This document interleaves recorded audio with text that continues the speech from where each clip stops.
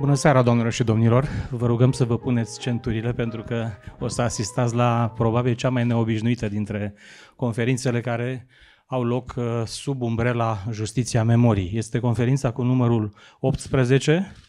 Încă două vor mai fi în acest sezon. Vom face un număr rotund, 20, la finalul lunii iunie. Uh, o conferință încă o dată, foarte, foarte neobișnuită, cu un invitat special, Ioante Morar sau, în alte vremuri, chiar John T. Miller. O să vedeți dumneavoastră de ce. Anume, um, e o conferință despre umor și mai cu seamă despre umor în vremea lui uh, Nicolae Ceaușescu. Până însă uh, Uh, până când va începe propriu-zis uh, conferința, să menționez că Justiția în Memorie este un proiect co, în coparteneriat organizat de uh, Fundația Academia Civică și Fundația Spandugino și că ne bucurăm să fim ca de fiecare dată împreună în număr atât de, atât de mare. Conferințele de la Justiția Memoriei nu se transmit niciodată live, însă sunt încărcate după o săptămână, două, pe canale de YouTube, pe Facebook și pe, pe tot ce, ce este nevoie. Suntem perfect uh, transparenți în acest exercițiu al, uh, credem noi, bunei cuvințe, al bunei bune memorii la purtător și a unui a bun, bun gust al, uh, al ideilor. Uh, conform uh, obiceiului casei, mai întâi un bun venit din partea doamnei Ana Blandiană.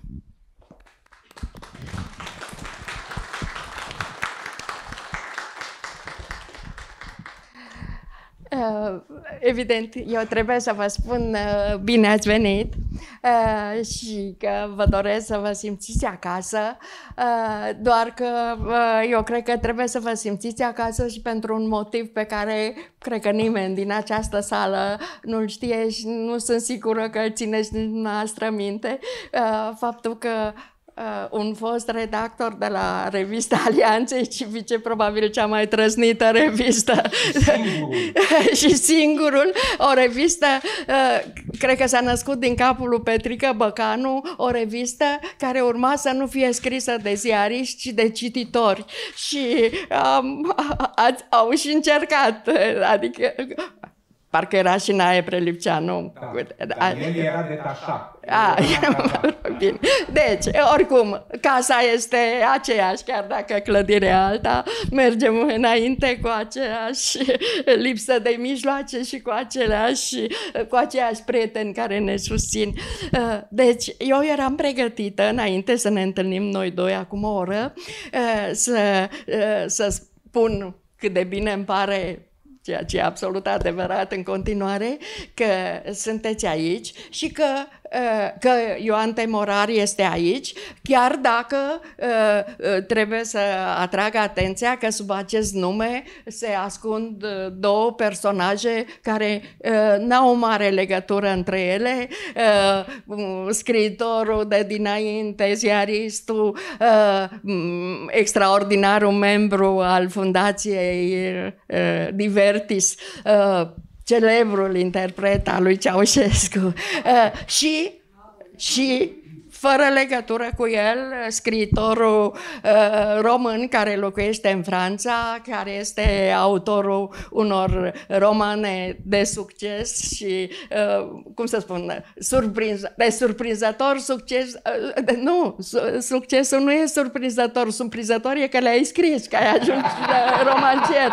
Uh, dar, uh, uh, și să-mi exprim părerea de rău că, uh, uh, mă rog, e grozav că a ajuns romancier, cer, dar îmi pare rău că nu mai există Divertis, că uh, nu mai... Uh, și acum o oră am aflat că Divertis reexistă, că sâmbătă va fi primul uh, spectacol a noi, noi serii de Divertis, din care uh, face parte în continuare și Ioan Temorar. Uh, deci tot ce voiam eu să spun a căzut, pentru că eu voiam să fac o, o, o introducere inteligentă, eseistică, în care să subliniez faptul că umorul, având în vedere cât de prost e umorul de astăzi de la televizor, că umorul probabil are nevoie de fondul dramatic uh, și de un dușman căruia să-i se uh, opună uh, și deci asta e situația, de aia nu mai avem umor, că nu mai avem suficienți dușmani. Ei bine, se pare că nu e adevărat, se, se pare că divertis continuă, ceea ce uh, e un semn bun pentru umor, e un semn bun pentru artă, dar s-ar putea să fie un semn rău pentru situația generală. Deci, din, eh, cu cât, cu cât eh, situația e mai proastă, cu atât umorul rezistă. Oricum, suntem fericiți, eu sunt fericită că sunteți aici uh, și mai ales că uh, va fi o conferință cu adevărat altfel decât celelalte, mai ales că ultimele două conferințe, uh, uh, mai ales cea despre Ucraina, Lugoșu, uh, ne-au trimis acasă seara deprimați. Eu cel puțin am luat somnifer după ce, ca să pot adormi. Deci, asta seară nu vom pleca deprimați. Și sunt convinsă că, că toată lumea va fi bucuroasă că a participat aici. Mulțumesc că ești aici.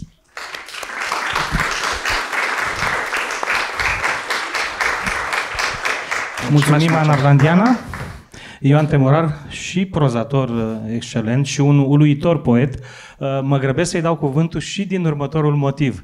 Cel mai recent volum al dumnealui se cheamă Când plouă mă numesc altfel. Deci Ioan Temorar deocamdată până nu...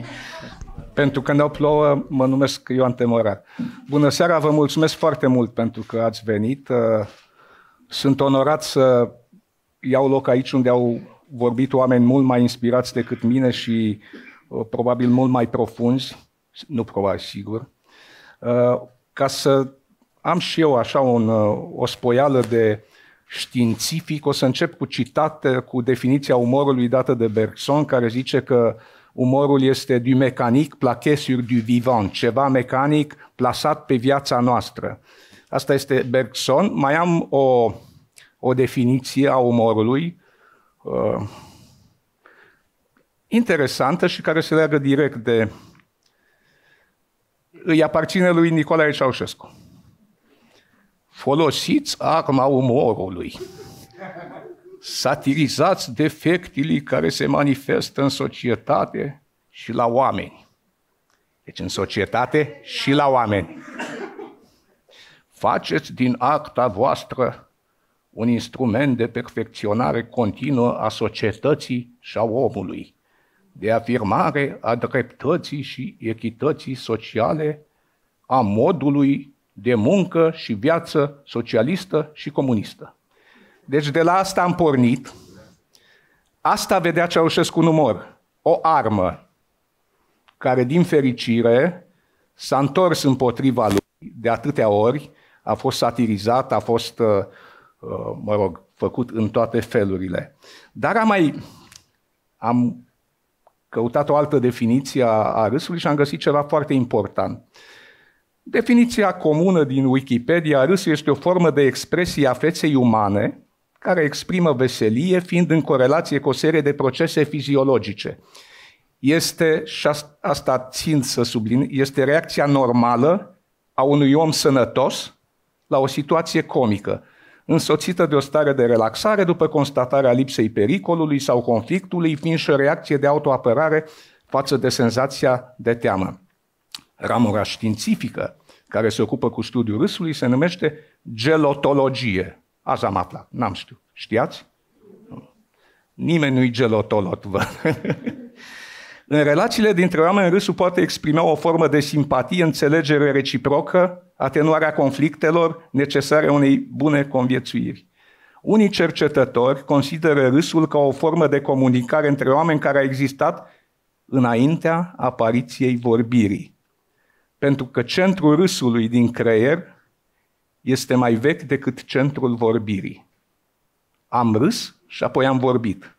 Noi am și râs și am vorbit. În, în cazul lui Ceaușescu, în proiectul Omului Nou, centrul râsului este foarte mic, foarte mic, iar centrul vorbirii are și nuanțe de lemn, limbajul de lemn care... Umorul este o formă a libertății, iar comunismul controla toate libertățile. doar că umorul e mai greu de controlat, e imprevizibil. Umorul, ironia, sarcasmul, far, farsa uh, nu puteau fi asimilate de un sistem ideologic rigid. Am încercat să par puțin om de știință, dar o să trec la, la împărțirea umorului în două pe vremea lui Ceaușescu. Umorul permis, încurajat, umorul de stat, de partid și de stat, aveam și circ de stat, umor de stat, brigăzile de agitație. Nu știu dacă țineți minte, dar oamenii muncii uh, aveau brigăzi de agitație, făceau concurs uh, între ei uh, și ironizau pe cei din, din jurul lor care nu se supuneau legilor, normelor. Pe mine mă, mă roade, de când am auzit și o să vă comunic și sper să plecați cu această obsesie, un, un, dicto, un distih de la o brigadă de agitație pe care am văzut-o la televizor. Căci din muncă își trage seva, trustul de construcții Deva. nu am reușit să scap de, de, de sau umorul stupid din reclame. Era, mai era una care mi-a rămas în minte. România producea două aspiratoare practic și ideal. Și reclama era așa, la amândouă. Aspiratorul practic este ideal, iar aspiratorul ideal este practic. Apoi mai exista ca formă permisă, existau epigramele, exista revista Urzica în care se râdea de chelneri, de soacre, de frizeri, de pletoși. Vă mărturisesc crezând că Ceaușescu nu va muri niciodată, am crezut la un moment dat. Mi-am dorit să ajung la revista Urzica. Lucram la Viața Studențească, la revista Urzica pentru că nu era niciodată pe copertă Ceaușescu. Și nu se scriau. A încercat cineva să scrie un text uh, la o aniversare, 40 de ani de umor nou românesc și s-a spus tot așa. nu cu asta ne ocupăm, lăsați. Dar în, în revista Urzica aveai șansa să să nu fii atacat ideologic, era foarte... Și eram deja pe drum de a veni Revoluția și am ratat, uh, am ratat uh, această ocazie de a, de a mă angaja la Urzica. Lui Ceaușescu nu-i plăcea umorul și s-a constatat chestia asta când a fost un congres uh, al populației la București, pe la începuturile lui, și cum se editează diverse reviste la chestiile astea, a fost un caricaturist și a făcut o poză lui Ceaușescu. O, o caricatură un nasul mai mare, mă rog. Și el a zis, ăsta sunt eu? Și de atunci s-a încheiat cu uh, caricaturizarea lui Ceaușescu, portrete grafice, nici vorbă.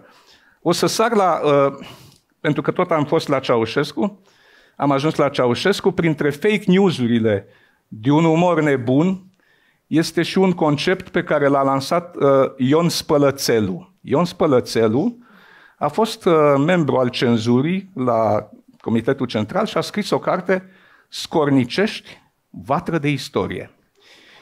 Și el era din Scornicești. Și o să vedeți ce consecință se, se naște. Și începe după poza lui Ceaușescu, cartea, eu am citit-o, mă rog.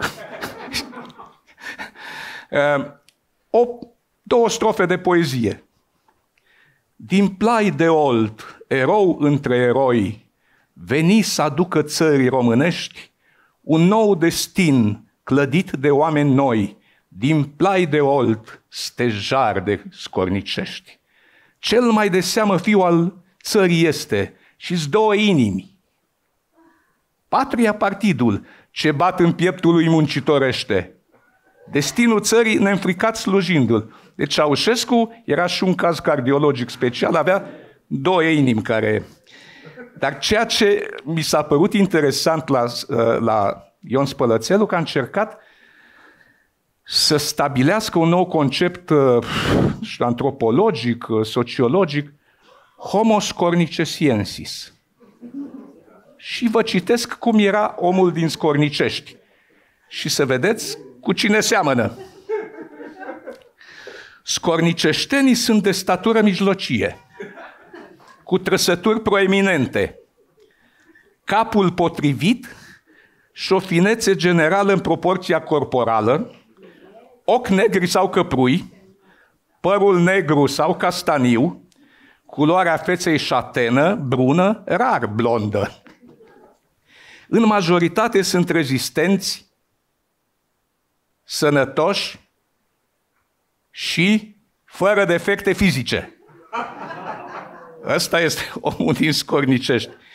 Uh, descrierea aici se potrivește foarte bine lui Ceaușescu. Uh, și mai are o continuare.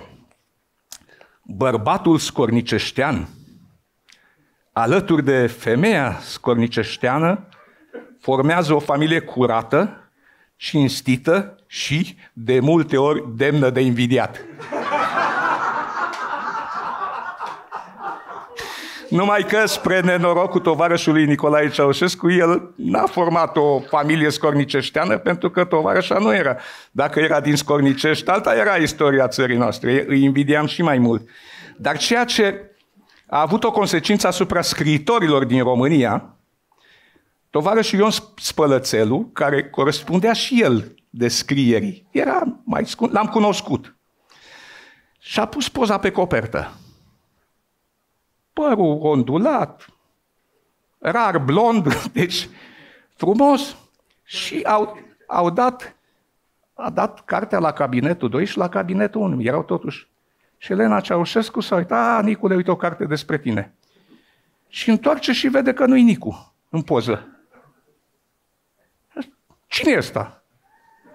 Spălățelul. Și ce caută pe cartea despre Nicu? Și din acel moment s-a interzis publicarea pozelor autorilor români pe ultima copertă. Mi se pare că e mult umor în, în lucrul ăsta. Uh, mai existau la televiziune umor, dar foarte bine controlat. La radio exista unda veselă. Uh, mai exista umorul de tip uh, Toma Caragiu, care din intonări reușea să facă dintr-un text banal. Eu cred că râdeam la Toma Caragiu și dacă citeam mersul trenurilor. Spre slobozia. uh, caracterul ăsta al, uh, al uh, lupta dictaturii cu umorul adevărat N-a fost numai la noi, a fost, dacă ați citit cartea lui Kundera, Gluma, și acolo. Și acolo era o dictatură de, de catifea, adică nu ca la noi. Deci umorul a fost din totdeauna văzut, de altfel Ceaușescu n-a râs, vă amintiți? Deși în spectacolul de sâmbătă pe care o să-l avem cu Toni Grecu, cu Doru Antonesi și Valentin Darie la sala radio, avem uh, un exemplu de primul stand-upist al țării, Nicolae Ceaușescu, la ultimul congres, a spus că nu va învinge capitalismul în România decât atunci când va face plopul pere și richita micșunele. Și sala a aplaudat. Și Ceaușescu a zis, nu aplaudați, cu tehnica modernă se poate ajunge și acolo, dar nici atunci. Deci a avut o părere cu care nu a fost, uh, nu a fost de acord. Uh, din categoria bancurilor, cum să spun, uh, categoria umorului speciilor interzise, erau bancurile politice, deși poate că uneori unele bancuri erau pentru a testa în grupuri, un provocator venea, spunea un banc, știu un banc care sigur n-a fost izvorât din mintea unui cetățean cum zicea, normal, sănătos, care râde, fără defecte fizice. Era un banc pe care eu l-am auzit de la un personaj care s-a afirmat. Nu o să vă spun cine, că ni l-a spus la mai mult, zice că Ceaușescu s-a dus la Moscova cu toți șefii de partid și de stat și li s-au luat măsuri pentru a li se face un cojoc, o haină de blană. Și ei au avut toată ziua de lucru și seara li s-au, li s-au dat hainele de blană să le probeze. Și toți au constatat că le erau foarte scurte. Numai lui Ceaușescu era normală. De ce? Celorlalți li s-au luat măsurile în genunchi. Adică Ceaușescu a fost singurul care a stat drept, scorniceștean, în lumina reflectoarelor. Uh, bancurile au fost, cum, cum era și în definiția râsului, uh, sunt un mod de a stabili legături, au fost adesea un cod. Uh, spuneam bancuri verificându-ne anturajul, pentru că adesea se raporta, tovarășul a râs, a spus bancuri. Eu am fost, mi-am căutat și eu dosarul la CNSAS, n-am, se pare că n-am unul, dar s-au găsit niște foi și cineva a asistat la o discuție de-a mea în, în biroul poetului Eugen Suciu, care era director de cinema, și uh, a scris așa. La această întâlnire a fost prezent și Ioan Morar, care zice că este profesor în Lugoj, a spus bancuri politice și l-a imitat pe tovarășul Nicolae Ceaușescu. În dosar. Nu m-a întrebat nimeni pentru că uh, codul era Ursula și uh, cea care am cerut numele e o, o persoană, o prozatoare care a spus asta. Dar ce s-a întâmplat cu acel dosar? Deci raportez că l-a imitat pe Ceaușescu. Era o linie făcută de... Erau doi locotenenți, deci erau tineri în securitate, probabil li se acrise deja. Și au făcut un cerc la numele meu tras pe margine să se verifice dacă este profesor la Lugoj. Ștampilă, semnat, altă linie cu altă culoare, s-a verificat, e profesor la Lugoj. Pac! Nimic, dar absolut nimic despre ceea ce s-a întâmplat. Despre... Și cum era să zică, îl imită pe tovarășul Nicol? Da, el este inimitabil. El este, cum să spun, era și, e și un caz pentru Uh, genealogi, uh, el era odată fiul cel mai iubit al poporului, dar era și părintele națiunii. Era și tatăl și fiul. Iar uh, doamna care nu era din Scornicești era duhul care umblă pe deasupra. Bancurile au fost, cred că dacă securitatea a fost o, o instituție serioasă, nu știu, au avut și cercetători, sociologi să vadă ce spun bancurile, cum sunt, să vadă nemulțumirile poporului, să vadă uh, din ce direcție, probabil să mai lanseze. Dar eu mi imaginam că s-a spus securitatea lansa bancuri. Îmi imaginam un tânăr ofițer de la secția de bancuri venind M-am gândit în metrou la un banc foarte mișto, toașul colonel. Ia spune, nu, stai jos, nu-i, nu-i bun. Hai tu, deci un brainstorming pe bancuri la securitate este totuși o chestie prea comică pentru ca să fie adevărate. Ceea ce uh, a salvat poporul român, pentru că râsul este salvator, râsul a fost acest simț al umorului, capacitatea de a produce bancuri, de a, de a face supape uh, ale tensiunii pe care cu toții am trăit-o. Uh, Bulă a fost unul dintre salvatorii noștri psihici, personajul Bulă, care a și dispărut după Revoluție. Cine, cine mai face bancuri cu bulă? Vine unul să spună, uh, hai să spun un banc cu bulă. Care? Cine-i bulă? De unde vine bulă? Deci, uh, cred că uh, Bulă a fost uh, unul care a, a rezolvat toate problemele și în plan internațional, noi l-am avut pe Bulă, dar în plan internațional, în țările socialiste exista același banc cu Radio Erevan.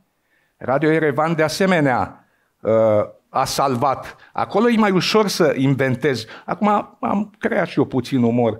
E mai ușor să, să creezi într-o structură fixă că ai întrebare la Radio Erevan. Un ascultător ne întreabă și atunci umorul se face mult mai ușor. Dar cu bule e mai, mai greu pentru că bulă este și gânditor, este și fraierul sistemului, este și cel care pățește, este și cel care uh, nu înțelege realitățile.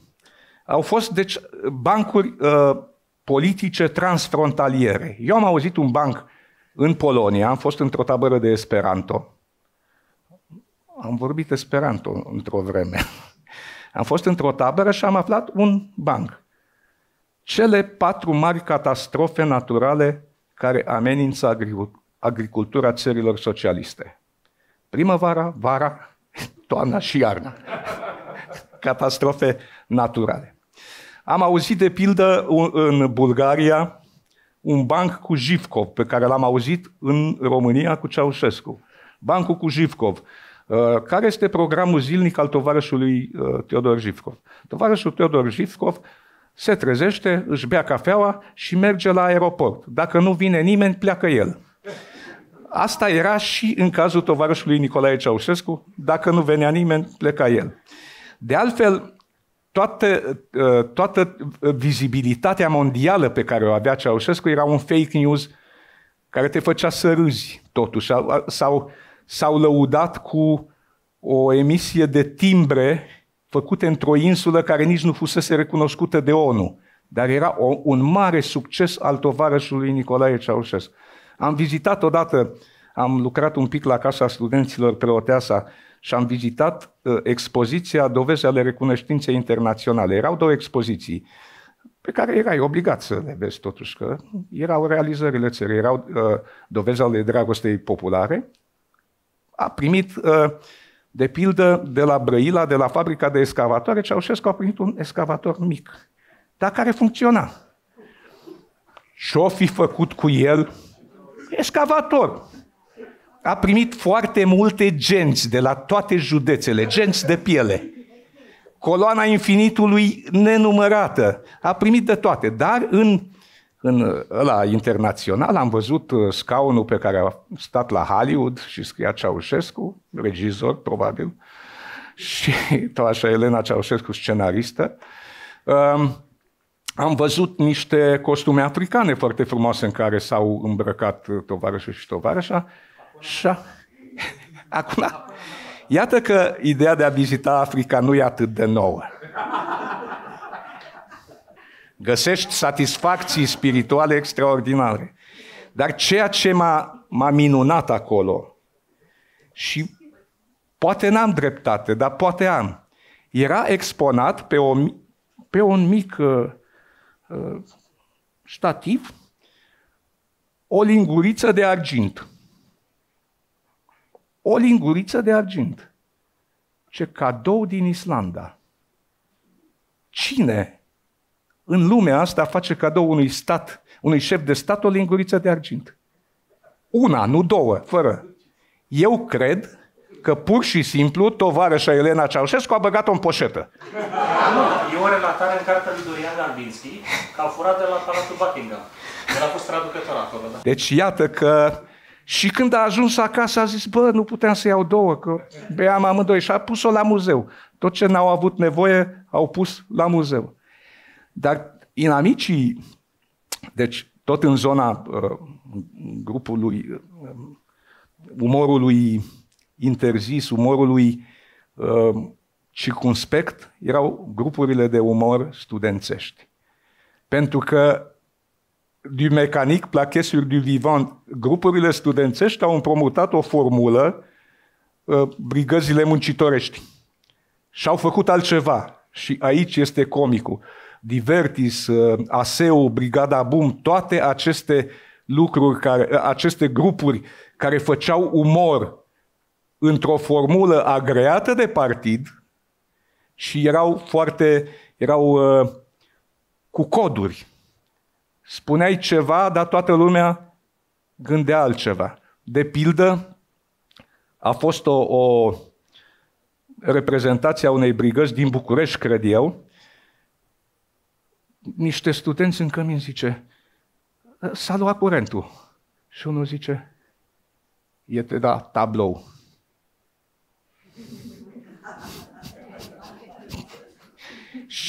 și dacă citeai, e de la tablou, da. Dar când s-a uitat la acel tablou, sala a izbucnit în râs, a fost extraordinar, extraordinar. Tony Grecu povestește că a, colegii au avut un text, că înainte textele, înainte de a urca pe scenă, se verificau te- toate textele, se verificau, se citeau, se... Și aveau, doar și profesor, uitați, am o, am o trusă de scule care a costat 500 de dolari. Cuvântul dolar era interzis, că era capital. Și atunci cenzorul a tăiat cuvântul dolar și a scris orice altă monedă. Iar pe scenă, omul a zis, tovarășe profesor, această sculă, această trusă de scule a costat 500 de orice altă monedă. Nu mai trebuia să... Uh, am fost uh, privilegiat să fac parte din uh, grupul Divertis. Tony n-a putut să vină, dar a venit soția lui. Mulțumesc, Cristian. Uh, să fac parte din Ars Amatoria. Ars Amatoria, iarăși, a fost un fenomen în presa scrisă. Ion Groșan, săracul care trece acum prin momente mai dificile ale vieții, uh, avea un serial 100 de ani de zile la porțile Orientului. Era o descriere a României, dar folosea toate, toate trucurile romanelor istorice uh, stupide, de, că au fost câteva romane stupide în care uh, toți uh, soldații, toți voievozii prevedeau cumva că se va naște Ceaușescu. Cam asta era romanele. Și Groșan a scris un, un serial extraordinar, care a scăpat pentru că a fost servit picătură cu picătură. Când citești cartea și vezi colosalul tablou făcut acolo, îți dai seama că cenzura a luat țeapă, cum se zice. El a mai scris Planeta Mediocrilor, cum un echipaj uh, spațial românesc ajunge pe o planetă a mediocrilor, care este România, dar totul era atât de bine învelit, atât de bine codificat, încât n-aveai ce să zici. Era o planetă, era un SF, o planetă a mediocrilor. Uh, cu grupul Divertis am avut câteva, în afară de serbările mării, care erau o, o formă de libertate la Costinești extraordinară. La un moment dat a venit securitatea și a căutat o bandă pe care s-a înregistrat un program dimineața Neptun vizitând China. Și cum populația chineză l aștepta pe Neptun cu suluri de hârtie igienică, cu tot ce aveam noi pe, pe aici. Au venit și din fericire Andrei Partoș a șters banda înainte, pentru că altfel ar fi fost foarte, foarte dur.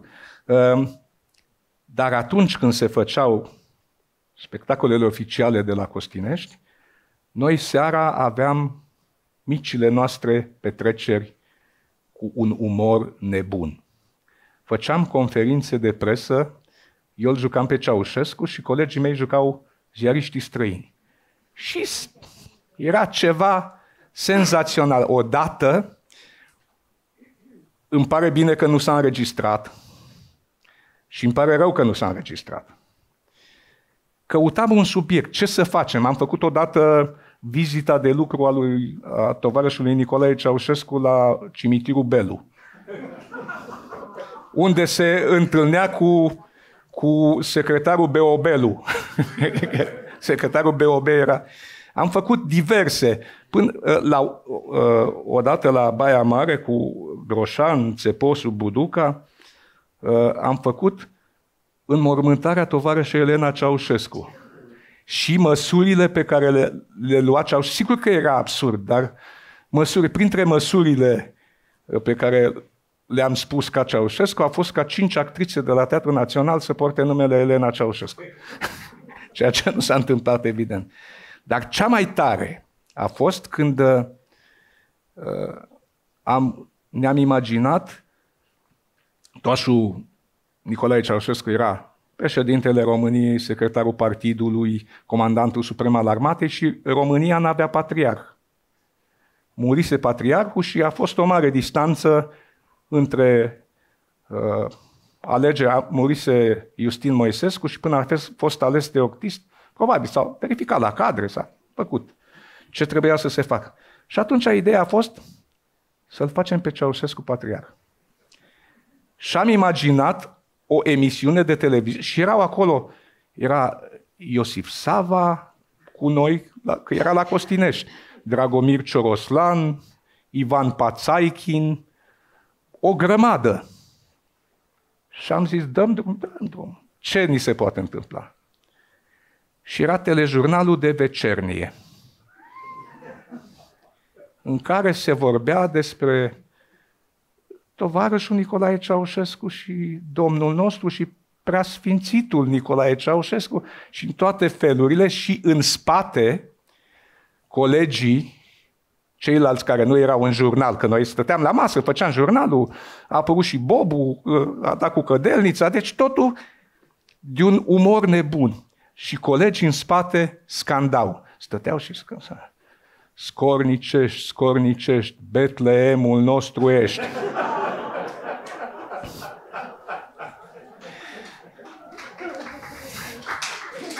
Stați că mai avem lângă poduri și canale, construim azi catedrale. Convertind mai mulți atei, vom lucra și în schimbul 3, strigau Schimbul 3 la biserică, ceea ce... Uh, mai era una... Uh, curgă lapte, curgă miere, nu mai vrem o înviere. Aceste lucruri, totuși, Poate ajungeau la cum a ajuns, am avut dovada, l-a imitat pe tovarășul Nicolae Ceaușescu. Și ce să le faci? Adică să creezi niște cazuri, au fost arestați niște oameni râzând de Ceaușescu. Râdea lumea de o astfel de știre. Adică nu, sigur că dacă noi plănuiam cum să-l împușcăm, ne arestau în momentul două, dar noi am fost, am folosit arma umorului, tovarăș. A fost uh, o perioadă în care personal, și acum am să vă vorbesc despre câteva lucruri din, din această carte, am, uh, am încercat farse la adresa cenzurii. Uh, Ceaușescu a desfințat cenzura, dar a făcut ceva mai dur. A înființat la fiecare loc de muncă cenzura. La fiecare redacție trebuia să și răspundeai tu. Înainte scriai un text, și îl tăia de la cer. Tăiat. Noi am avut un coleg care era redactor șef adjunct și venea de la observațiile de la partid și asta și zicea, uite ce au lăsat ăștia și tăia el. Redactor, șef adjunct la viața studențească, după aceea a fost prefect de Brașov în România modernă. Și ce mi-a tăiat mie odată? M-a chemat în birou și a zis, tu ești nebun? Tu vrei să ne bagi pe toți la pușcării? Eu? Zice, uite-te aici, aveam o rubrică de corespondență pe care o preluasem de la Traian Ungureanu care a fugit. Și mi-a dat... M-am uitat, nimic. Aveam, aveam niște discuții despre Daminescu, dacă aia mi-a lăsat-o Traian Ungureanu, eterna problemă, dacă Adrian Daminescu are perucă sau nu. Deci asta era mare dezbatere și avea fane ale lui și era... Se, și mă uit și, da, zic, nu, asta cu peruca e mai vechi. Nu, nu, nu, nu, nu. Uită-te aici. Ce? Zice, sunt trei răspunsuri pentru Sibiu. Și? Păi, nu știi cine e la Sibiu. Da, dar nu i-am răspuns lui, adică asta era cenzur, nivelul intelectual al cenzurii și adesea puteai să-i păcălești destul de ușor. De pildă... Scuze, numai un moment, scurtă paranteză, apropo de ce spuneați mai înainte. Vasile Savu, un poet uh, bun, bun mă rog, de la Equinox, a ajuns la un moment dat uh, funcționar la direcția presei. Și bancul sau adevărul zice că Vasile Sav, văzându-și propria poezie în revistă, își pare, domnule, trebuie să scos, a scos o știu, de, o știu de la Țeposul care s-a dus el cu șpală. E o variantă, nu știu dacă nu-i folclor totuși, că e prea de Și era latinist. Adică el era... A tradus Tibul, a tradus... Da. Era în situația în care avea o părere, dar nu era de acord cu ea.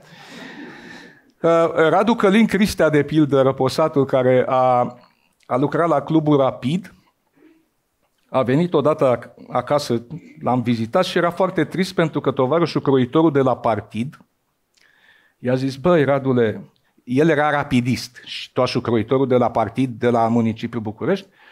Radu lucra, făcea programul de meci la rapid Și ce bă, Radule, hai să nu ne creadă ăștia că suntem numai așa muncitori, hai să, hai să facem noi așa o chestie.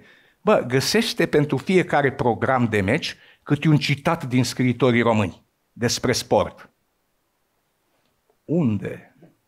Cine? Și Radu era foarte trist. Am zis, Radu, îți fac eu citatele. Cum, măi? Te rog să mă crezi. Ele sunt la rapid.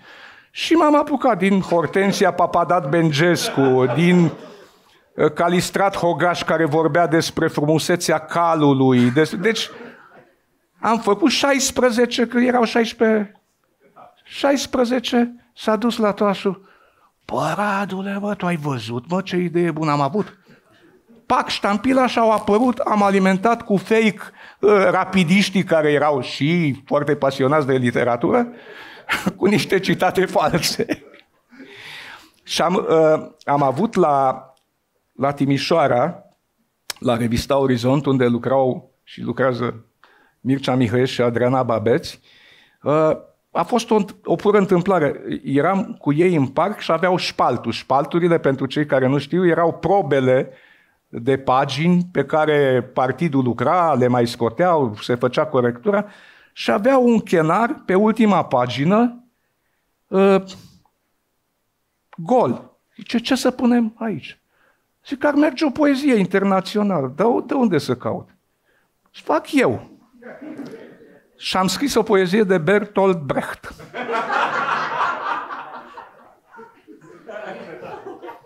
care a apărut. Adriana a zis, bă, ce bună idee, hai să facem o rubrică, poemele păcii.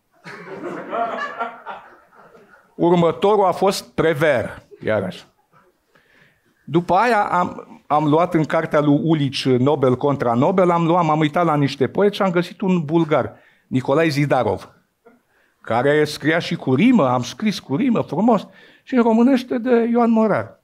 Dar era deja invidie că aveam în fiecare număr și atunci mai semnam și colegi.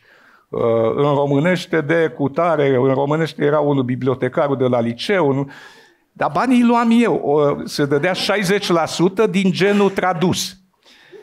Și tot. Dar după aia am zis, e, acum e cazul, am inventat poezii, hai să inventez poeți.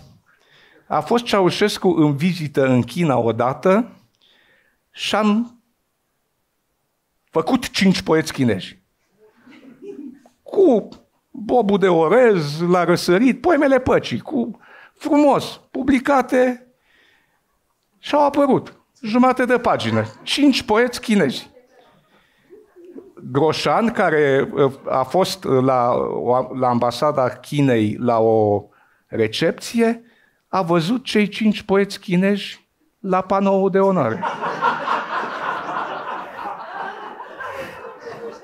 Deci am păcălit nu numai cenzura românească, ci, ci și cenzura chinezească. Adică și am mai făcut când pleca Ceaușescu în Africa, veneam cu câte un poet din Burkina Faso.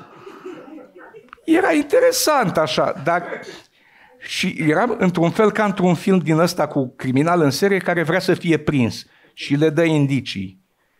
Și am publicat o poezie, se numea Muzeul Păcii, semnată de John T. Miller. Ioan Temorar. În românește, de Ion Șeitineanu, fiind din Șeitin, adică le-am dat toate indiciile și nu s-au prins. Dar cea mai tare uh, farsă pe care am făcut-o a fost cea referitoare la Chesus Clay. Chesus Clay scria poezie. Am citit asta într-un ziar. A scris poezie, dar ceva Joe Fraser, ce-o trag.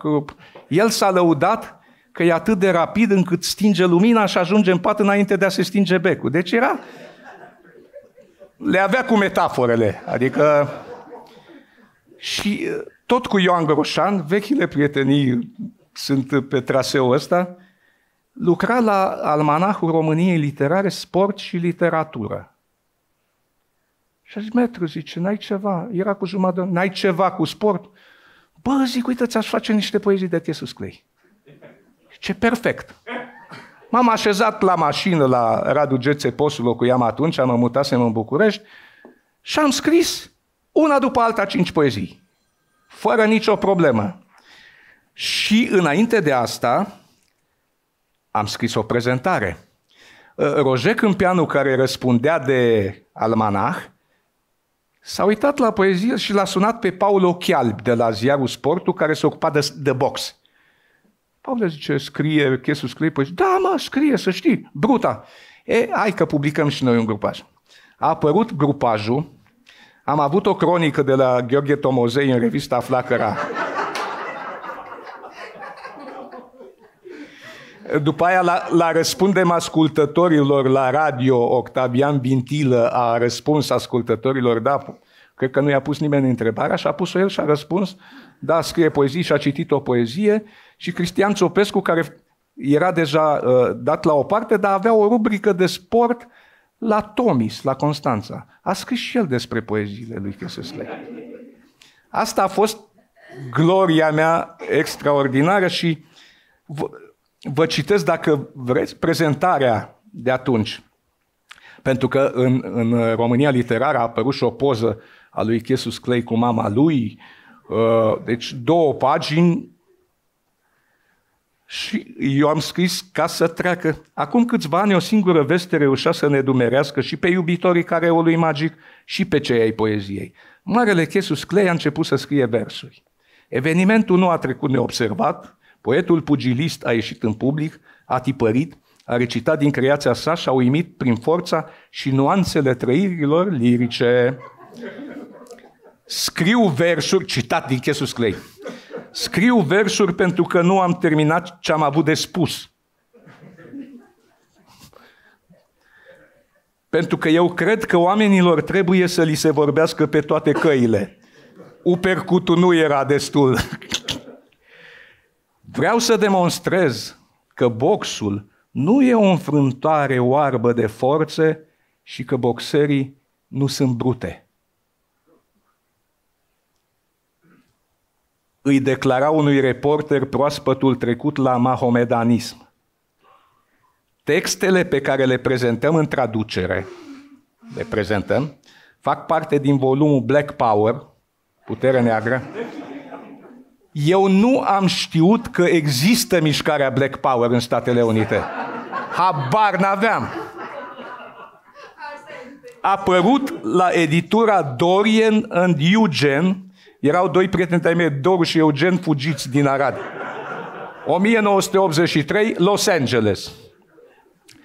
Și acum, dacă vreți, vă citesc că nu surâte. Uh, deci poezii de Cassius Clay în uh, lectura traducătorului. Blues in LA. Deci, uh, fac o paranteză. Eu am toate uh, uh, clișeele pe care le aveam despre America. Nu fusesem în America, nu văzusem o, o emisiune americană, nimic. Deci toate clișeele le-am, le-am pus acolo să sune bine. Deci, blues in LA. Nu Los Angeles, LA.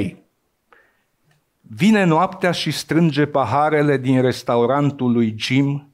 Uite așa, uite așa va face nota de plată Gloria și mă va lăsa să cânt singur în vilișoara din Glendale. Eu mai am forță să dobor cu țipătul meu pasărea din aer, dar nu vreau. Poate că ar fi bine să știți, aș putea să dobor pasărea din aer, aș putea sufla singur în toate trompetele și saxofoanele orchestrei lui Jim preț de o seară. Alte lucruri doresc acum, altă lumină întrezăresc la capătul drumului. Vine noaptea și strânge paharele, pianistul negru merge acasă de 10 ani, nu cu Mary, ci cu un baston alb.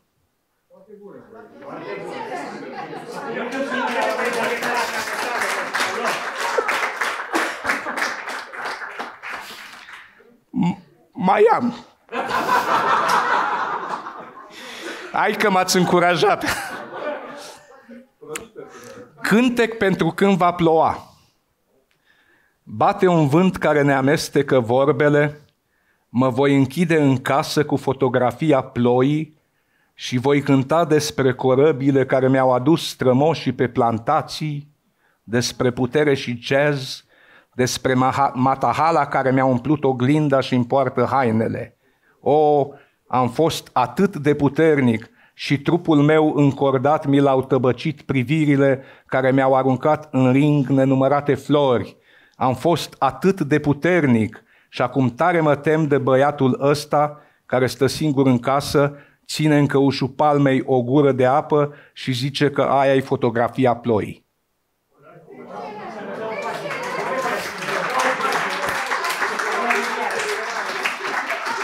Ei, eram profesor la Lugoj și m-am dus și mi-am cumpărat revista Flacăra într-o fereastră.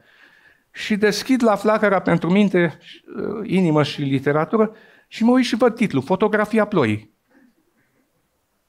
Îmi sună cunoscut. și am văzut că e cronică la poeziile astea de Gheorghe Tomozei, care a spus cel mai puternic poet din lume tradus din americanește de imorar, într-o paranteză, adică traducătorul l-a dat și pe el. Hai că vă mai citesc una. Îmi place, e... Am călcat linia. Văzusem un film în care l-am auzit pe Johnny Cash prima, I Walk the Line. Și am valorificat tot. Nimic nu se pierde. Stau pe malul oceanului ca într-un ring, spectatorii au îmbătrânit și au plecat, Inima mea a îmbătrânit ca și pumnul, doctorii spun că sunt la fel de mari, arbitrul mă tot numără, poate ajunge până la 70, maximum 80. Hei băiete, ține garda mai strânsă, ține capul a plecat Joe Louis, ține pumnii mai aproape Foreman, mișcă mai mult picioarele Fraser, lipește bărbia de umăr Chesus Clay și de ce stai tu așa de trist pe malul oceanului? Acum scriu poezii, Scriu ca să nu trebuiască să țin un pistol în mâna dreaptă, scriu ca să ne iubim și să ne salvăm. Veniți pe malul oceanului, stați în spatele meu să vedeți cum se aliniază cuvintele în tranșeele poemului. Cititorii au îmbătrânit și au plecat.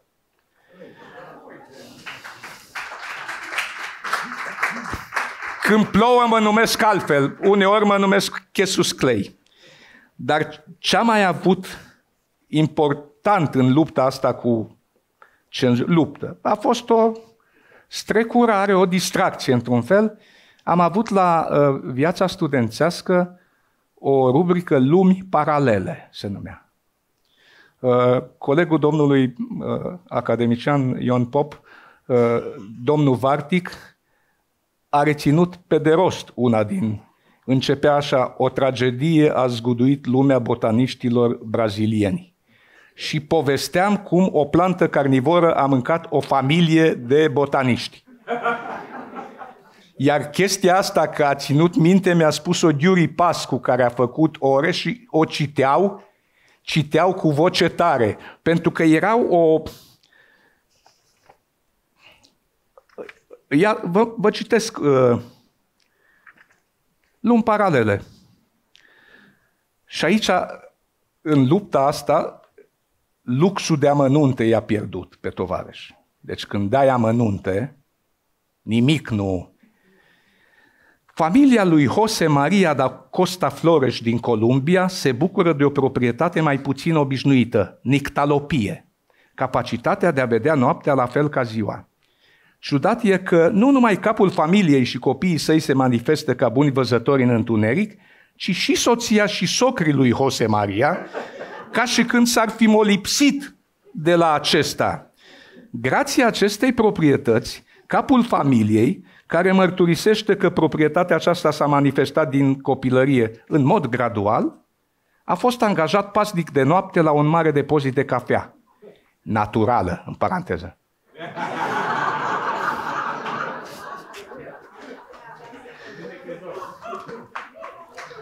atât de mare este eficiența paznicului de noapte, încât în cei 16 ani de când a fost angajat, au fost zădărnicite toate tentativele de furt din ce în ce mai rare.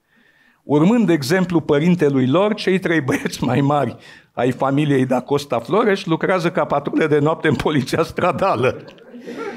Silvina Melania da Costa Flores, cea mai mică din familie, în vârstă de 12 ani, a moștenit în modul cel mai neobișnuit nictalopia. Ea, ea reușește să vadă, asemenea razelor röntgen, interiorul corpului omenesc. În ciuda tuturor examenelor și a testelor, ciudatele proprietăți ale micuței Silvina Melania nu au putut fi explicate. Fetița în cauză este sub supraveghere științifică și dacă toate vor merge bine, va deveni medic radiolog.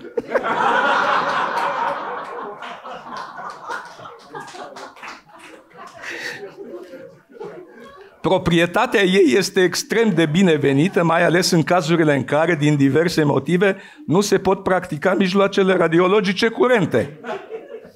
În aceeași sferă de interes intră și cazul lui Henrik Selnick din Singapore, care are o sensibilitate pineală aparte, după cum se exprimă reporterul revistei Dreams, nume, care descrie cazul. Ce înseamnă această sensibilitate? Înseamnă că Henry Selnick poate cu un minimum de efort de concentrare să spună tot ce se întâmplă în spatele său, să descrie ființe pe care nu le-a văzut și să citească afișe, stând, bineînțeles, cu spatele.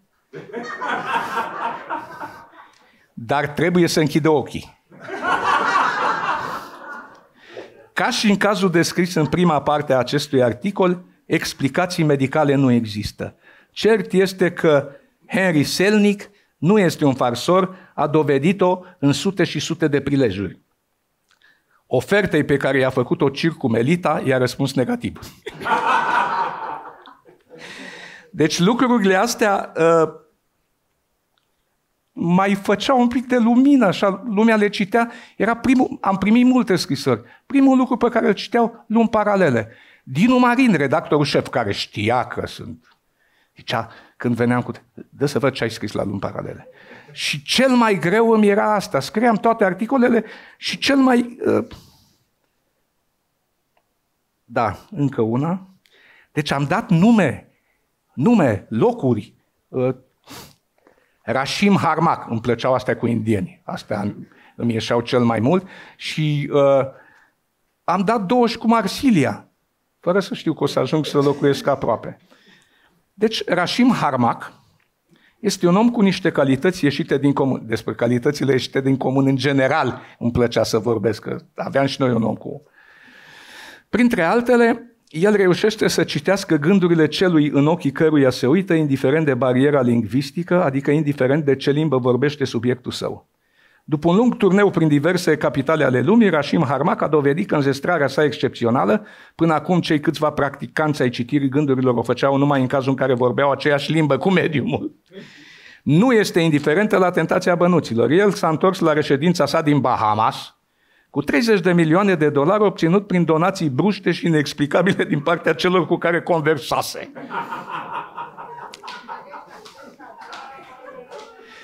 În articolul intitulat Un gangster al gândului, Lionel Morris, reporter la publicația World Star, deci cu asta ai închis ochii, uh, investigează cu multă abilitate și dăruire de detectiv aceste cazuri de donații.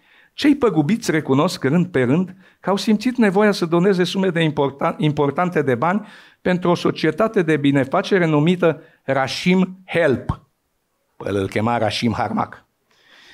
Despre care au aflat chiar în ziua întâlnirilor cu ciudatul cititor de gânduri. O donație absolut în toată regula, zicem noi, zice și reporterul, dacă nu punem la îndoială faptul că societatea de binefacere Rashim Help are drept singur beneficiar al ajutorului pe propagatorul și inițiatorul ei. Ceea ce este ciudat, zice Lionel Morris, este faptul că donatorii nu s-au putut împotrivi nevoilor de a dona sumele. Nu s-au putut împotrivi. Caritas! Caritas înainte de... Uh, în ciuda faptului că mulți dintre ei s-au dovedit până la întâlnirea cu cititorul de gânduri drept niște incorrigibili harpagoni. Dr. Peter Marshall, alt nume, specialist în parapsihologie, interogat și el de reporter, vorbește cu admirație despre Rashim Harmak, despre faptul că acesta poate să se înțeleagă din priviri cu orice om și chiar cu unele animale. E un fenomen. O vreme deschisese o firmă care a dat extraordinare rezultate în prevenirea sinuciderilor. Venau la el mulți disperați și Rashim le insufla optimism. îi vindeca de gândurile negre. Eu sunt convins că suma mare de bani obținută în turneul său mondial o va folosi în interesul săracilor. Rămâne să așteptăm confirmările doctorului. Până atunci să reținem numele lui Rashim Harmak, un om cu o înzestrare ieșită din comun. Toate lucrurile astea treceau prin cenzură și la capătul uh, am avut una, am avut mai multe uh, întâmplări din astea cu oameni care s-au trezit vorbind cinci limbi, uh, fă, fără să le fi învățat, un șofer care, căruia i s-a făcut o mașină, el nu putea conducea decât cu spatele. Deci, una foarte frumoasă cu un tip care um, avea teamă de cutremure, dar era milionar și atunci teama de cutremure și și-a făcut o platformă cu patru elicoptere și dormea pe platforma aia. Din când în când mai cobora câte un servitor și îi aducea de mâncare și el stătea acolo. Și, ca să vedeți ce fericită întâmplare a avut în viața lui, s-a căsătorit cu o parașutistă care sărea și era foarte, foarte fericită. Dar ultima pe care am publicat-o, după care a fost oprită rubrica, a fost cu o corabie care s-a întors din triunghiul Bermudelor. Și s-a întors în Noua Zeelandă, după cum scrie ziarul și dădeam time of nu știu ce. Și uh, ciudățenia acestei chestii era că marinarii, corabia a dispărut cu un secol înainte, iar marinarii s-au întors vii, dar muți. Și sunt echipe care caută, care așa și extraordinar și ce mister frumos. Și primește domnul Dinu Marin, redactorul șef,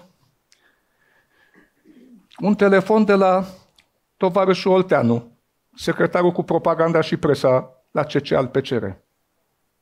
Zice, e în legătură cu rubrica lumi paralele. Da. Și eu am un nepot căruia îi plac astea UFO și ar vrea să ia, să împrumute autorul ziarul din care a tradus. Iar Dinu Marina a avut o prezență extraordinară. A zis, doamne, secretar, dar e o rubrică de umor. Și el a zis, să nu mai faceți așa umor. Și mi-a interzis rubrica. Aveți în față un autor interzis. Uh, o să vă citesc pentru că doamna Ana Blandiana a, a evocat momentele în care ne-am întâlnit în, de-a lungul vieții. Uh, o să vă citesc o poezie de Ana Blandiana care a contat în viața mea. Urma să mă angajez la viața studențească și au apărut niște poezii în amfiteatru. Uh, am fost în redacție atunci când a venit o comisie de la partid și l-au dat afară pe Stelian Moțiu, redactorul șef, dar nu pe redactorul de număr, Grigore Arbore, care a rămas bine mersi. Are pus pe site-ul uh, Institutului de la Veneția, unde, pe care îl condusese, uh, uh, faptul că, uh, cum să spun, destinul lui intră, deci un site oficial al șefului, că el a făcut să fie publicate poeziile, adică ceva incredibil. Și, și vă rog să-mi permiteți să citesc două poezii, poate nu le-ați auzit, pentru că Ana Blandiana a scris între timp, ați citit alte lucruri, două poezii de Ana Blandiana pe care le-am reținut în carte și care au făcut parte din destinul meu. Atunci am zis, e foarte nasol că nu mă angajez. E... Și m-am întors la Lugoj. Și am mai stat doi ani acolo. Elena Ceaușescu închisese orașele mari, uh, și am ajuns la Lugoj, nu la Timișoara. Și am mai stat la Lugoj și acolo am cunoscut-o pe soția mea. Deci, mulțumesc Ana Blandiana, mulțumesc Elena Ceaușescu. Iată poeziile. Eu cred. Eu cred că suntem un popor vegetal.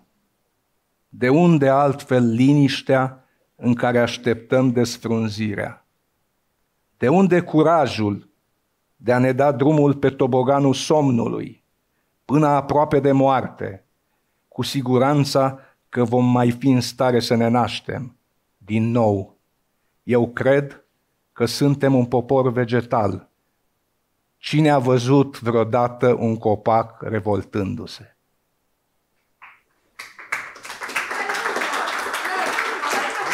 Nu e umor. E un omagiu pe care vi-l aduc și încă una, e bine să știți, e bine să rămână în memorie. Acum devin serios. E bine să știm că au existat oameni, ca Ana Blandiana, care n-au spus da. Important era să nu spui da și să spui nu cum poți. De altfel o să revin la uh, Marin Traian, cu care am lucrat la televiziune și care era un, un cronicar de, de televiziune foarte bun, mi-a povestit că și-a făcut debuturile la radio, ca redactor, și a făcut un uh, concurs, cine știe câștigă, din ăsta la radio. Și l-a auzit Dej, care era în spital. Și a sunat la radio, la uh, președinta de la radio și a zis, mi-a plăcut concursul, tovarășa. Premiază-i pe băieții care l-au făcut. Președinta s-a dus la redactorul șef și a zis, vă rog să faceți o listă cu toți cei care ați făcut. Și redactorul șef s-a pus și pe el. Și ea l-a întrebat, da, matale, ce ai făcut aici? Și el a zis, nu m-am opus să se facă.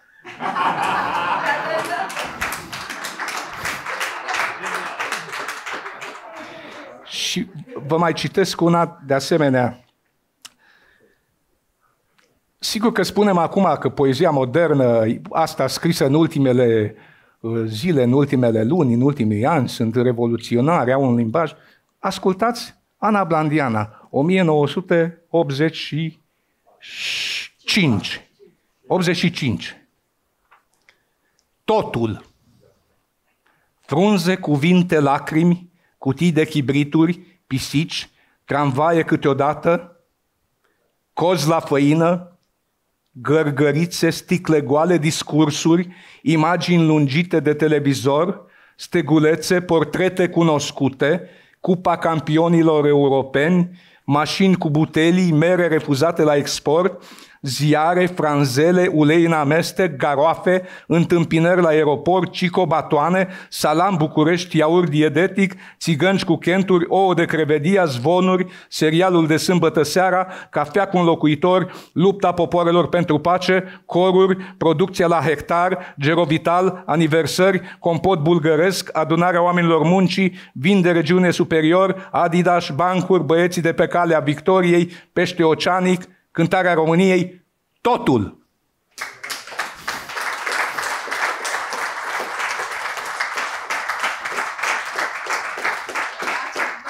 Să facem totul. Să facem totul și peste tot, cum zicea Tașni. Dacă sunt întrebări? A fost, uh, n-a fost bine, a fost foarte, foarte bine. Am două microfoane. Știți majoritatea dintre dumneavoastră obiceiul casei. Partea a doua a acestei conferințe înseamnă dialog, observații, observații critici, autocritici în cazul acestei ședințe, dacă e cazul. Cine, cine sparge gheața? De la Rapid, Cristian Preda. Mulțumesc, uh, mulțumesc mult uh, pentru conferință. Am o întrebare uh, serioasă. Ce n-a trecut din ce făceați la viața studențească? Ce a oprit cenzura din ce ați făcut? Uh, și um, cum, um, cum uh, era percepută experiența pe care o aveați voi la viața studențească. Am fost unul din cititorii acestor rubrici. Cum era percepută în restul uh, redacțiilor? Adică aveați, bănuiesc, uh, uh, prieteni, cunoștințe în alte redacții. Cum vă priveau ei atunci? Mulțumesc mult! Tre- treceam drept niște privilegiați, sincer, pentru că, în primul rând, noi nu scriam despre producții la hectar, ci despre studenți. Și am un exemplu de articole care au căzut. Uh, Dinu Marin, redactorul șef, a zis hai să facem o critică a învățământului superior, dar din perspectiva studenților buni. Ce cred studenții de 10 despre ce ar trebui făcut? Deci, o critică făcută subtil cu cei mai avizați, studenții de 10. Și am fost, în, am fost la Politehnică, atunci am reținut iarăși o frază care m-a bântuit multă vreme. Uh, era de la un informatician și zicea, uh, eu aș propune ca studenții de la soft să facă mai mult hard și studenții de la hard să facă mai mult soft. N-am înțeles niciodată, am scris. Și eram cu paginile să apară și a fugit Traian Ungureanu. Și au căzut paginile și s-a dus totul. Dar noi am fost într-adevăr privilegiați pentru că în afara uh, primelor pagini la care erau abonați oameni care scriau editoriale și le plăcea asta și nu puteai să le refuzi plăcerea, noi am încercat să mai... Am, au fost articole de ale noastre citite la Europa Liberă despre condițiile din cămine, se mai strecurau. Adică a fost, într-un fel, presa cea mai puțin malonestă. Nu zic cea mai onestă dar mai puțin malonestă. Deci am, am avut și în plus mergeam în tabere studențești, în, în, întâlneam profesori universitari, uh, era o chestie foarte... Singurul pericol care putea să te lovească era să trebuiască să scrii un editorial.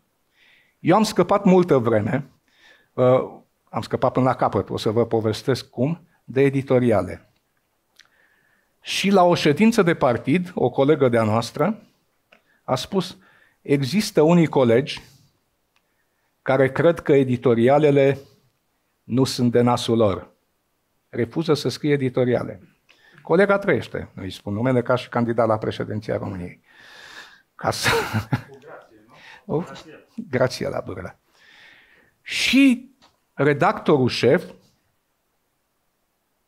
a luat notă de asta și la o ședință de sumar, când s-au împărțit rubricile, zice uh, iar editorialul, rolul tovarășului Nicolae Ceaușescu în dezvoltarea învățământului superior românesc, îl va scrie morar.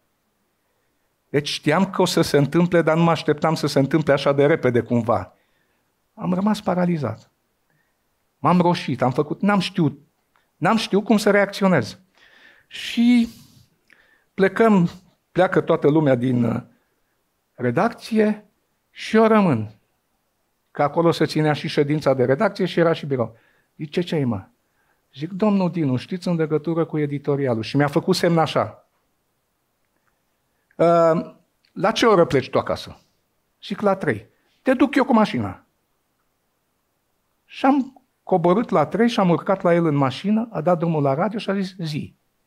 Domnul Dinu, n-aș vrea să scriu. Dar de ce? Domnul Dinu, eu scriu și poezii. N-aș vrea, după aia, bă, zice, se vor găsi scuze pentru toți. Zic, n-aș vrea să se găsească scuze și pentru mine și... Bă, zice, acum lucrez totuși la o revistă unde se cere un obol. Și am zis, domnul Dinu, mi-ați făcut cel mai mare bine, pentru că el m-a luat pe mine pe răspunderea lui aveam un dosar în care scria nu-și stăpânește atitudinea politică. Și un tată cu probleme. Deci m-a luat pe răspunderea lui. Și zic, mi-ați făcut cel mai mare bine, nu-mi faceți și cel mai mare rău. Și a zis, las că vedem. Zic, domnul Dinu, dacă ajung să... Zic, eu mă sinucid și trimit o scrisoare la Europa Liberă. N-aveți nevoie de un caz. Ai, bă, zice, vorbești prostii, ai un copil. Păi tocmai de-aia nu vreau să semnez. Și vine joia. Ședință de redacție. Zice Dinu, ă, băi, la preuniversitaria aveam un supliment preuniversitaria care dădea subiecte pentru studenți și ne autofinanțam. Ce la preuniversitaria vreau un reportaj despre Institutul de Construcții, niște dialoguri. Sunt acolo profesori foarte buni, academicieni, oameni cu idei care fac super, super. Zice, aș vrea așa scris din mai multe unghiuri. unghiuri. Zice, morar, îl scrii tu? Da. Zice, ce ai de scris pentru viața studențească? Zic, rubricile mele și editorialul. Las că îl scrie Dudu. Și așa am scăpat. Un om care m-a scăpat, care m-a înțeles uh, s-au întâmplat cazuri de solidaritate extraordinare. N-avea absolut nicio obligație față de mine. Eu aveam obligația de serviciu să mă supun și m-a salvat. Și am stat multă vreme, scriam la preuniversitaria ca să fiu supraocupat în așa fel încât să îmi fac numai rubricile. Deci, viața studențească a fost și asta. Un, un semn de solidaritate și de acolo au pornit și ziariști mari și ziariști căloși. A fost o școală. Fiecare a învățat ce a vrut. Da, mulțumim. Poate o altă întrebare, un alt comentariu? Înainte vreau să vă spun da. ceva ce am uitat să vă spun. Uh, unul din fake news-urile uh, epocii de aur, că toate a fost un fake news, erau uh, producțiile record agricole. Deci se raportau, la radio raportau unii, era și bancul ăla că dacă aduni toate suprafețele cultivate, depășești suprafața României. Uh, cum se făceau la porumb, de pildă. Am citit într-o carte a unei femei care a servit familia Ceaușescu la Snagov, a fost bucătăreasă, administratoare. Ceaușescu avea un hectar la Snagov. Și îl planta cu porumb, el. Îl planta cu porumb. Și toamna aduna porumbul. Îl cântărea și îi chemau pe primii secretari. Asta trebuie să fie producția la hectar. Numai că la el nu fura nimeni niciun știulet, la el era udat. Deci, primul agricultor al țării chiar a fost primul, cred că asta n-a fost fake. Da. Da, alte întrebări, alte comentarii. Răzvan, Răzvan Voncu? Da. Știm din uh, literatură și probabil că și din alte arte, cât de importante au fost în epocă, în special în ultimul deceniu, aceste rețele de solidaritate, care au fost foarte diverse. Întrebarea e simplă, scurtă și la obiect. Ați avut în epoca atunci când făceați umor uh, feedback din partea celor care beneficiau de produsele imaginației umoristice pe care o puneați cu mult curaj în epocă? În ce au constat aceste În primul rând, în, în manifestările de pe scenă, reacțiile publicului care erau explozive. Uh, apoi, uh, vă spun o, o, cum, cum a funcționat acest tip de rețea. Eram la Slănic, Moldova, încă nu eram angajat la viața studențească. Uh, eram la Slănic, Moldova, într-o tabără în care cineva de la OASCR a avut ideea nefericită pentru sistem să cheme toate grupurile de omor din uh, România. Și atunci uh, Ghighi Bejan cu echipa lui au vopsit statuile din Câmpul Lung în verde, deci a fost o, o chestie... Uh, și s-a proiectat cel mai prost film pe care l-am văzut eu, Sania Albastră. L-ați văzut vreodată? Da, da. Sania Albastră, cu săracul ăsta care a murit, a fost director la circ, am uitat. Da, în fine. Bogdan Stanoievici. Bogdan Stanoievici și încă o fată și erau se tăvăleau prin zăpadă, era ceva, iubire fără amor, o chestie de genul ăsta. Și publicul, ceea ce trebuia să fie o recepție de gal, aplauze în final, studenți recunoscători, au făcut un uh, lanț de fulare și zburau fularele prin sală și râdea lumea, ei bine, peste doi ani acel public l-a răsturnat pe Ceaușescu. Acei decreței care ajunseseră. Asta este culmea uh, ironiei. Ceaușescu a dat acel decret uh, ca toate familiile să aibă minim trei copii. Dar știți că existau excepții când dacă demonstrai de pildă că nu poți. Eu am plătit de la 30 de ani până s-a născut fiul nostru, am plătit taxă pe celibat. Uh, dacă demonstrai că tu nu poți să faci copii, aduceai de la medic. Așa, așa nu se poate. Nu plăteai. Dar soțul sau soția plătea.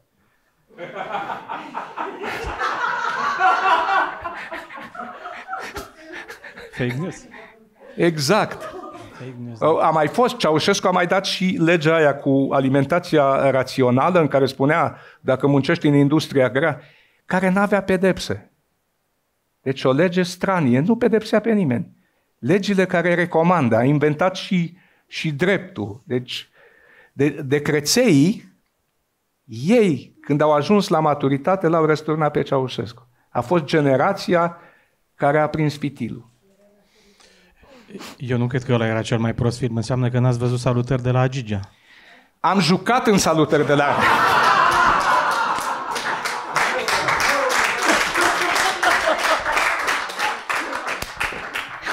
Dar secvența nu s-a dat.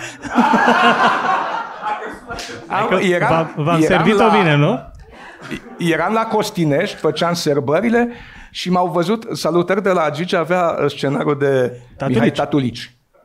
Și m-au văzut că făceam un concurs și au zis, bă, hai, joacă aici figurant, faci un concurs de plâns cu cepe, cu fetele și am făcut, am râs, nu știu ce, mi-au luat și datele să-mi trimită banii, n-a apărut secvența, n-am primit banii.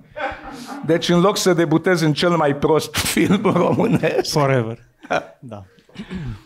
Da, alte întrebări, alte comentarii? Alte observații? De, de ce nu l-ați imitat pe, pe Gheorghe Gheorghiu, deci? Nu l-am mai prins. nu, dar știți, am reluat în carte o, o chestie uh, sinistră pe care a scris-o un, un ziarist în, înaintea mea uh, despre cum a murit Dej. Se lansa zvonul că a fost iradiat de ruși, că a fost, uh, când s-a dus acolo, n-aveau rușii niciun motiv să-l iradieze. Nu, se pare că minele de uraniu de la orașul Dr. Petru Groza au produs primul zăcământ. Și a venit un tovarăș de acolo, director, și a, și a dat zăcământul și el l-a pus acolo, lângă bibelouri, lângă coloana infinitului, lângă câinele ăla care făcea așa, deci și a început să se simte rău. El, secretara, bucătarul, asistentul, șoferul, și a venit, se pare, ginerele lui sau așa ceva, și a zis, ce cu asta aici? Păi zice, succes. Mamă, aruncați-o repede, au venit, au măsurat. Dacă făcea școală, dar a făcut revoluție. Da? Deci nu l-am putut imita pe Dej, că aș înainte Era de... periculos un pic, da. da. da. Poate mai sunt întrebări sau observații sau comentarii? Da? Acolo? Uh, bună ziua, în cadrul prezentării a spus că multe dintre înregistrările noastre s-au pierdut. Cred că n-ați căutat unde trebuia. Asta ar fi una dintre remarci. Uh, ce vreau să povestesc e ce mi-a povestit apropo de perioada respectivă. Mi-a povestit cineva dintr-o redacție că la un moment dat s-a retras un ziar, un număr dintr-un ziar din chioșcurile de ziare. De ce? Pentru că apărea titlul mare pe prima pagină, Tovarășul Cioră s-a întors pe calea aerului de la Moscova. da. Ceea ce... În județul nu, în, în, în informația Bucureștiului. Așa este. S-a întors de la Moscova pe calea aerului. Tovarășul Gheorghe Cioară s-a întors de la Moscova pe calea aerului. Asta Sigur. a fost. Întrebarea este, umorul dumneavoastră, asta este un umor uh, nevoit, dar umorul dumneavoastră era voit și dacă ați avut uh, repercursiuni. Să știți că și uh, a fost un umor inconștient, pentru că acum nu l-aș mai, n-aș mai face tot când privesc înapoi. A mai fost un ziar care s-a oprit, ziarul Flacăra, când a fost cu cenaclu Flacăra cu celebru Benin Boc, dacă țineți minte. Știți povestea? Deci Păunescu avea tot felul de invitați locali și la Megidia a urcat un bătrân în straie tătaro-turcești și a zis că vrea să aducă un mesaj din partea comunității. A fost lăsat la microfon și a spus, ceea ce faceți aici are un, un, un nume în limba turcă și înseamnă și cenaclu și dăruire și este Benimboc. Benimboc, Păunescu, Benimboc, Benimboc Flacăra, Benimboc, Benim, toată sa Benimboc. Și a apărut ziarul și a fost citit la ambasada Turciei. Și însemna rahat. nu chiar rahat locum, din ăla Nu l-au mai găsit pe omul ăla, vă dați seama. Curajul unui om simplu, anonim, care a vrut să rămână anonim, da, da, da. Benimboc. Că asta e uh, avantajul bancurilor uh, a fost întotdeauna că au avut caracter anonim. De aceea nici nu știm cine. Anonim ca orice specie folcloric. Anonim cu variante și oral. Ca Miorița, doar că cu poante. Da, alte întrebări sau altă întrebare? Când l-ați imitat prima dată pe Ceaușescu? Așa? Cum, cum a intrat în dumneavoastră, să zic? Deci aici mai, sunt mai multe întrebări, de fapt. Cred că în liceu. în liceu l-am văzut și l-am îngânat așa. Bă, bă, bă. Și am văzut că pot să fac vocea. Și de atunci, dar eu nu i-am imitat, au fost mulți imitatori. Mulți. În fiecare oraș. Eu nu i-am imitat doar vorbitul. Ci și gândirea, nu? Modul de a gândi. Am făcut câteva poante, vi le spun acum. Una era așa. Am creat o epocă nouă, nu vouă. Și una pentru Uniunea Scriitorilor era în ultimul timp am văzut cu bucurie că Uniunea Scriitorilor organizează cetenare pentru scriitorii noștri. Eu cred că pentru încurajarea scriitorilor trebuie organizate cetenare și pentru cei tineri. Să, să știți, să știți că nu e glumă, unii tineri vor pre, premiul Opera Omnia. Da. Pentru debut, da. Am fost vizionar. Da. Și ultima cu Acropolilii, care este tot a mea, după aia am auzit-o. Uh, am vizitat multe țări ale lumii. Am fost în Grecia pe Acropolilii și pot să vă spun că totul este o ruină de 2000 de ani, nu s-a construit nimic.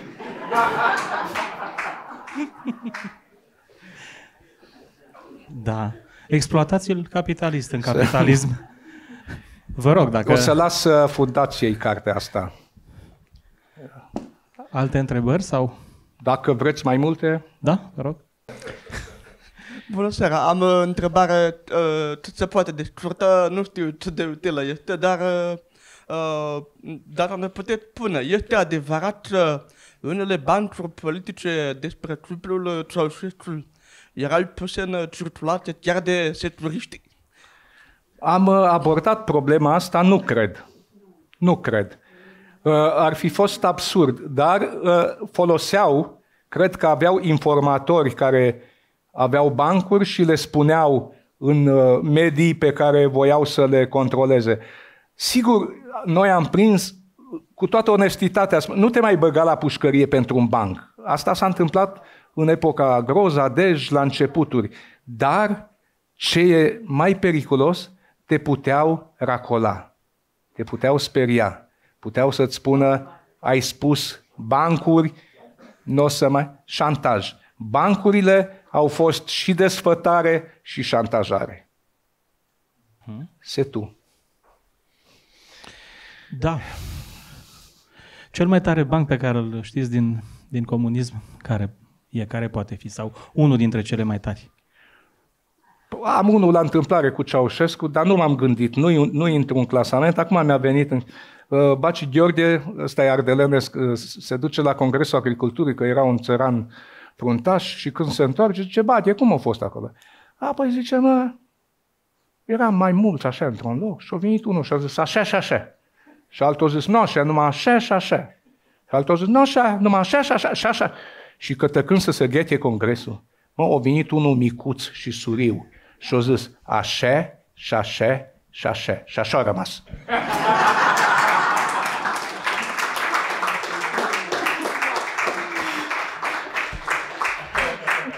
Ați, ați zis că ați fost inconștient uh, în uh, perioada Subconștient. Aceea. Chiar subconștient și uneori inconștient colectiv, aș, da. aș zice. Când simțeați pericolul în gândul ăsta? Sau simțeați câteodată că aveți securiști în sală, că aveți... Am un exemplu, cu, eram cu Stelian Moțiu, cu Buduca, cu Țepoșu. la cameră, nu la mine. La Tei, în complexul Tei, unde se făceau niște chefuri într-o cameră. Și l-am imitat pe Ceaușescu și unul dintre... Nu-i cunoșteam pe toți.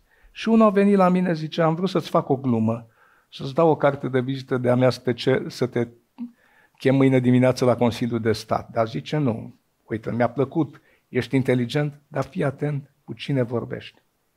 După aceea, la două săptămâni, urma să vină un ministru uh, turc, ministru turc al construcțiilor și să se întâlnească cu rectorul de la construcții în acea cameră. Și s-a montat, s-a montat tehnică de ascultare. Deci dacă noi veneam peste o săptămână, a fost, am simțit acest pericol. Dar iată că, așa cum scria în dosarul ăla, sunt profesor la Lugoj, da, e profesor la Lugoj, adică a, a verificat. Nu era tot dosarul, mi l-au, mi-au dat... Era în dosarul lui Eugen Suciu, da.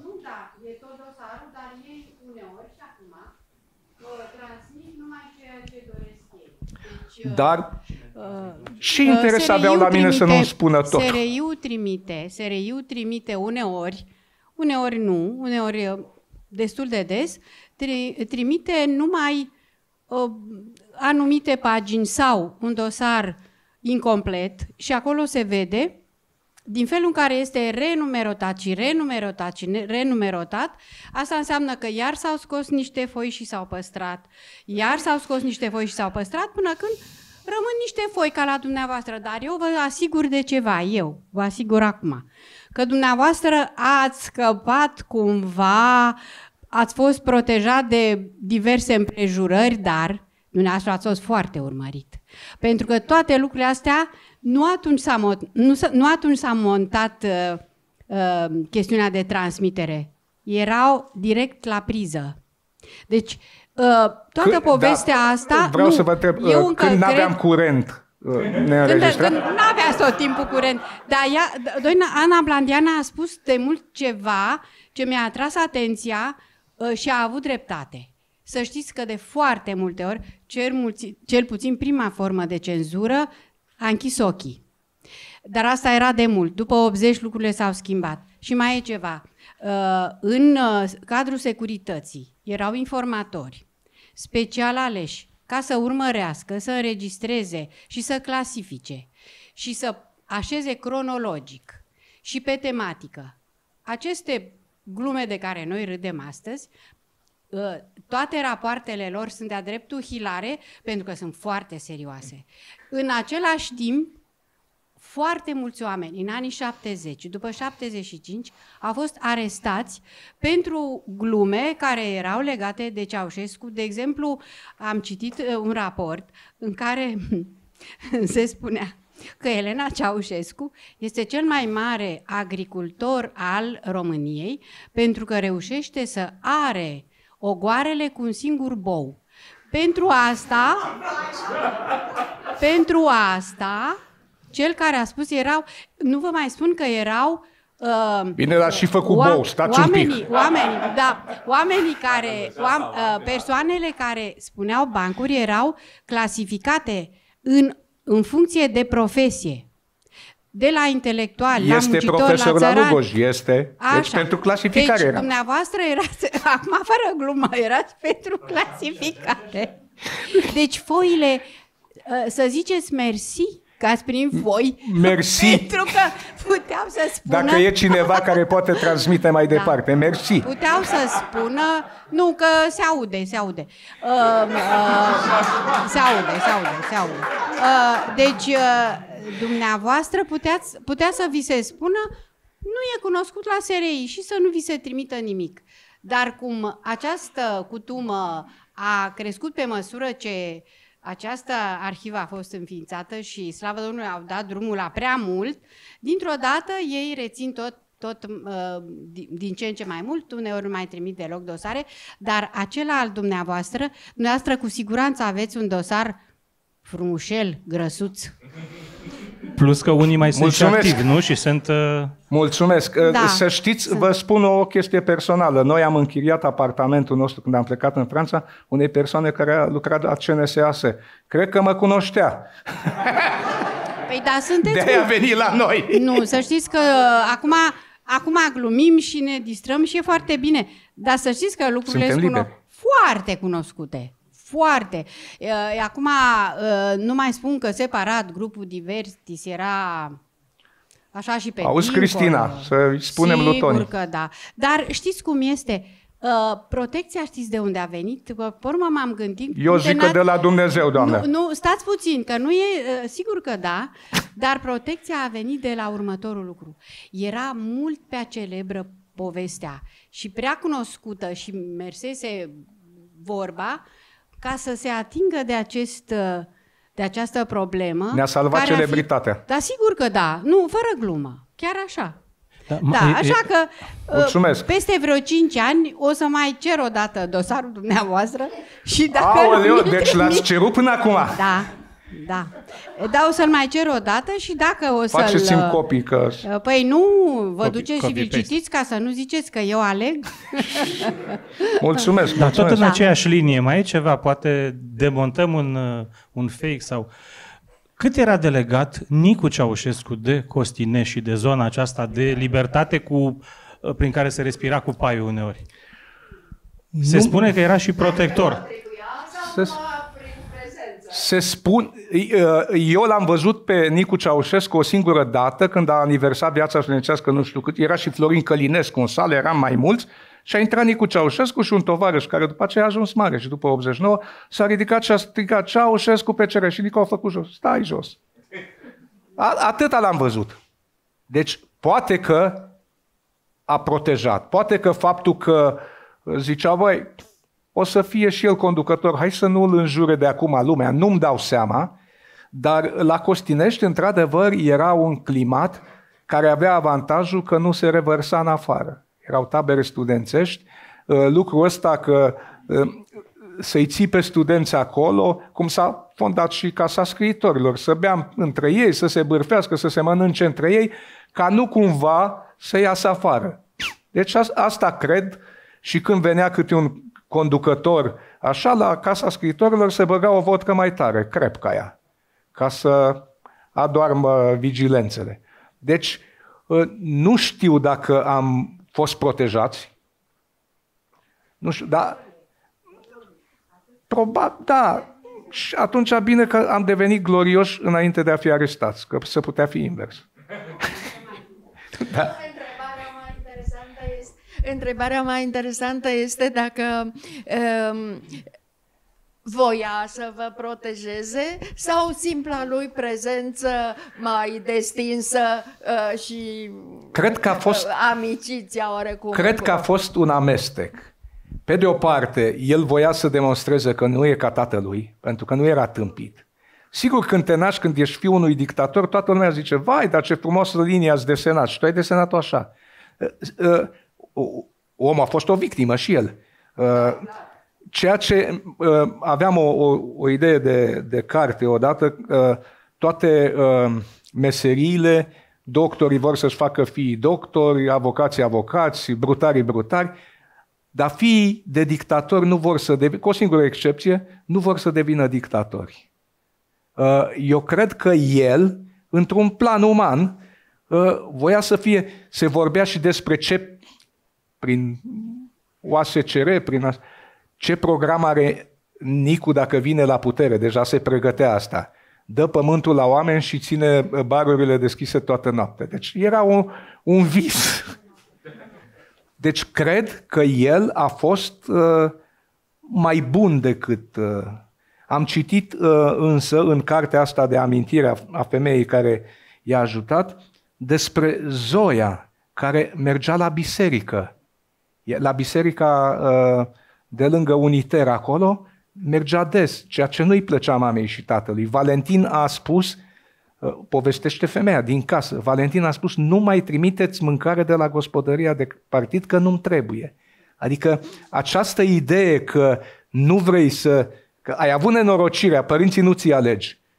Acum, dacă sunt dictatori, poți să te ferești de ei sau să nu vrei să copiezi, să multiplici comportamentul.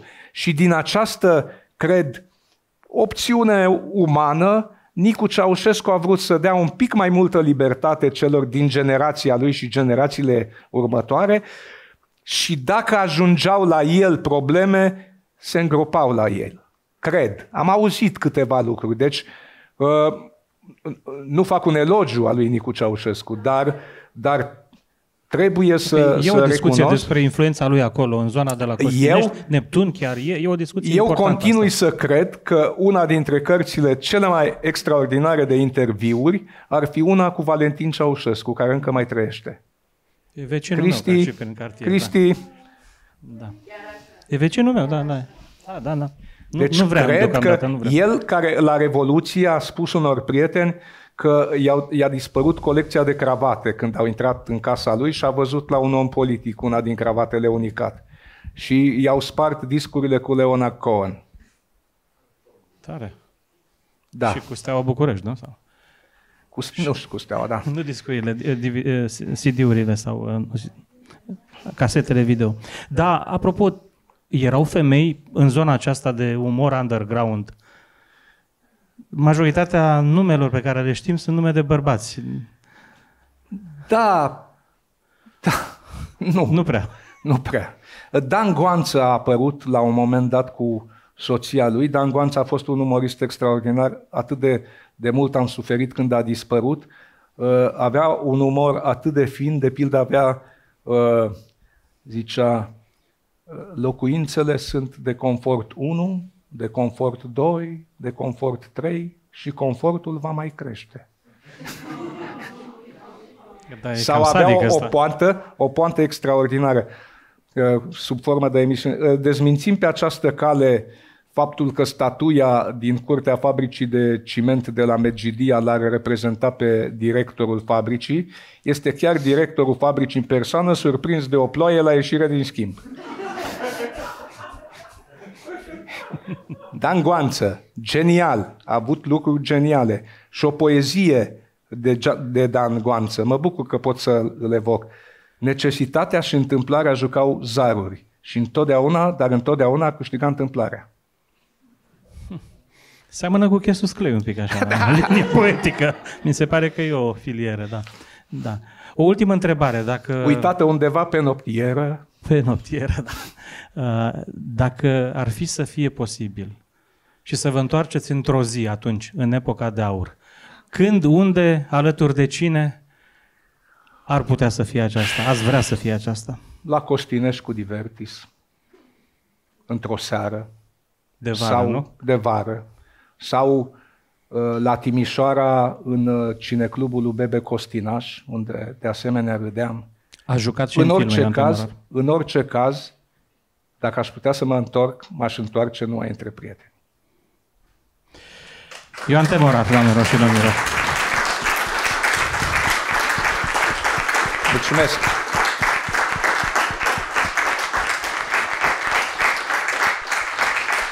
Mulțumesc, mulțumesc!